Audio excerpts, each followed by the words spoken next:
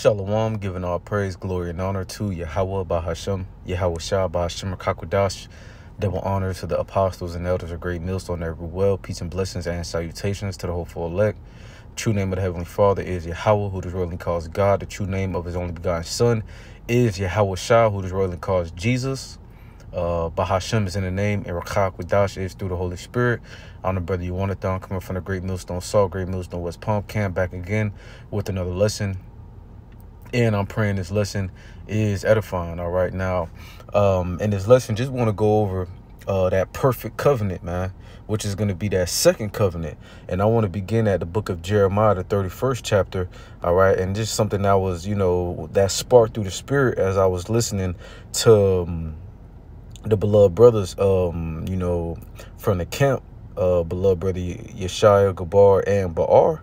Okay, so we understand with that first covenant that the Heavenly Father made with us, we couldn't keep it, even though the ways of the Heavenly Father are perfect, but we couldn't keep that covenant. Now, through Yahawashi being that that that mediator between us and the Heavenly Father, and we have a second chance at um the second covenant where it speaks about how our uh, the law, statutes, and the commandments are going to be in our inward, man.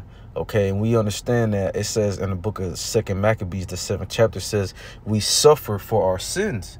All right, it says your sins have separated uh, you from your power. Okay, roughly paraphrasing those scriptures, but we understand us being in these weak bodies.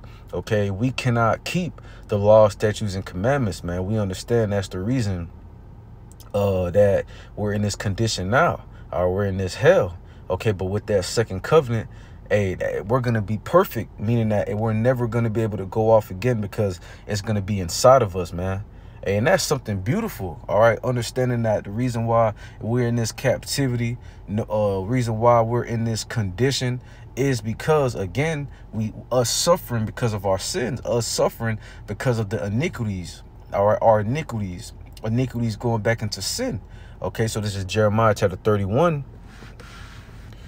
Jeremiah chapter 31, verse uh, 31, and it says, Behold, the days come, said the heavenly Father, Yahweh, that I will make a new covenant with the house of Israel and with the house of Judah, meaning the south, okay, the, the northern and the southern kingdom, not according to the covenant that I made with their fathers in the day that in the day that I took them by the hand to bring them out of the land of Egypt, which my covenant they break, although I was a husband unto them, said the Lord. You see, so we broke that covenant, man. And it's really the spirit.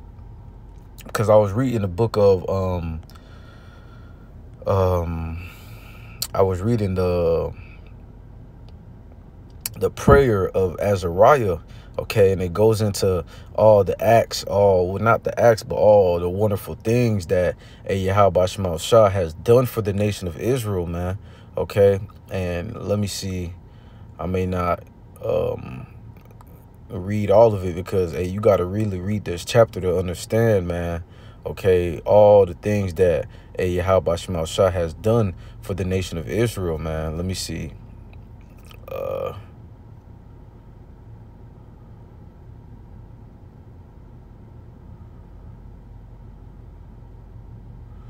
Let's see. I'm going to just grab this quick. This is the prayer of Azariah, chapter 1, verse 5. And it says, In all things that thou hast brought upon us and upon the holy city of our fathers, even Jerusalem, thou hast executed true judgment.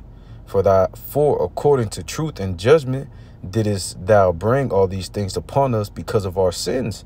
For we have sinned and committed iniquity, departing from thee. In all things have we trespassed and not obeyed thy commandments nor kept them, neither done neither done as thou hast commanded us that it may that it might go well with us. You see so again we understand us being in this condition is because of us man not being able to uphold or not being able to keep that first covenant man. All right?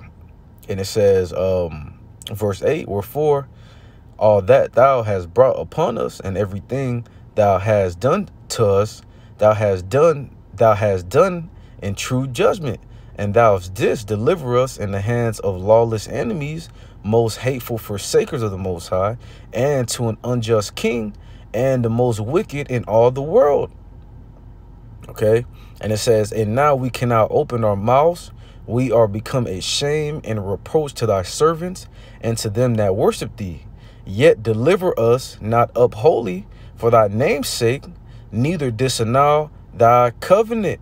Right. And it says, And cause not thy mercy to depart from us, thou beloved Abraham's sake, for thy servants Isaac's sake, and for thy holy Israel's sake, to whom thou hast promised.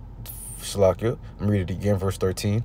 To whom thou hast spoken and promised that thou wouldest multiply their seeds as the stars of heaven and as the sand that lieth upon the seashore. All right. So basically, oh, let me keep, let me read verse, uh, verse 14. And it says, For we, O Lord, are become less than any nation and be kept under this day and all the world because of our sins. You see, so again, Yahawashi is not going to forsake that promise he made to Abraham, Isaac, and Jacob, our forefathers, but nevertheless, due to our sins, due to our iniquities, okay, we're in this current position all right? Us being under all these nations man like the uh, 14 verses uh oh lord we are become less than any any nation. Okay and that's because hey, we couldn't uphold the law statutes commandments of the heavenly father and his son. Okay but with that second covenant hey, we're going to be perfect. Why? Because hey, those commandments are going to be on our inward part man.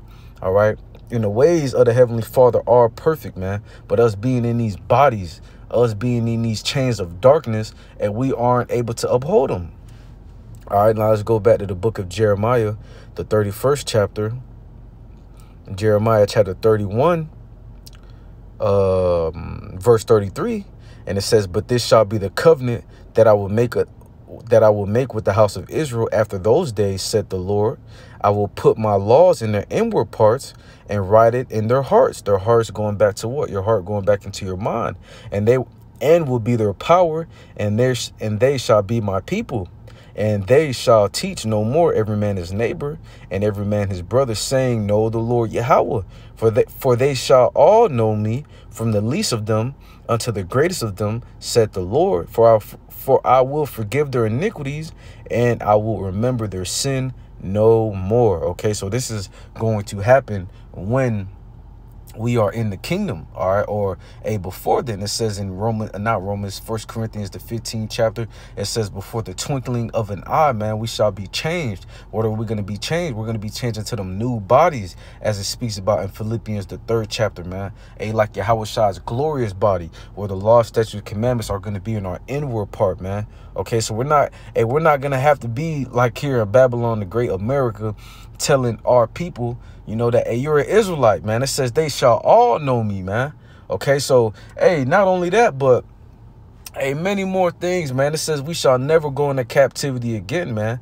Hey, all the former things being passed away, okay, crying, uh sorrow all these things man are going to be passed away in the kingdom. And that comes with that second covenant all right? And that's just things to hope for man. That's just things when you really think about it you know us being in these feeble these weak bodies man okay as many things we can't do all right?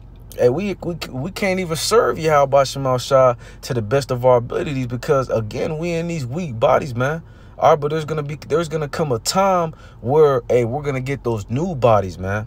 All right those incorruptible bodies okay? And i can't wait brothers. You know lord willing we are part of that glorious number to receive it on the first go around right? Salakia, forgive me for that. This is the book of hebrews uh chapter 8 i'm starting at verse 7 and it says for if that first covenant has been faultless then shall no place have been sought for the second for finding fault with them he said Behold, the days come, said the Lord, then will then will I make a new covenant with the house of Israel and with the house of Judah.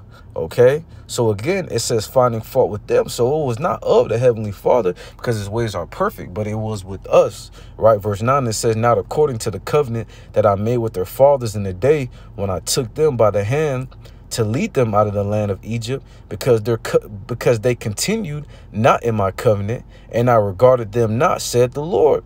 For this is the covenant that I will make with the house of Israel. After those after those days said the Lord I will put my laws in their mind and write them in their hearts and I will be to them a power and they shall be to me a people and they shall not teach a man and they shall not teach every man his neighbor and every man his brother, saying, Know the Lord, for all shall know me, from the least to the greatest. And I will be merciful to their unrighteousness, and their sins and their iniquities will I remember no more, man. So meaning that all the sins are going to be wiped away. A clean slate okay? A clean slate of perfection. And this is what's coming to the whole nation of israel starting foremost with the elect under yahweh shah okay? So you know through the spirit and prayer about Shema Shah, I know this lesson wasn't too long but I just wanted to bring this up man. You know that second covenant man. A perfect covenant. And you know I know every brother's, you know, brothers, you know, I know brothers waiting on it too, man. You know, but I just want to bring this lesson out through the spirit, Lord willing, those edifying to the next time, giving all praise, glory, and honor to Yahweh, Bahasham, Yahawashi, Bahasham, Kakudash, double honors to the apostles and elders, a great millstone that well. Peace and blessing to the elect. Till next time, Shalom, Baba Baba, Kwam Yah Shalom.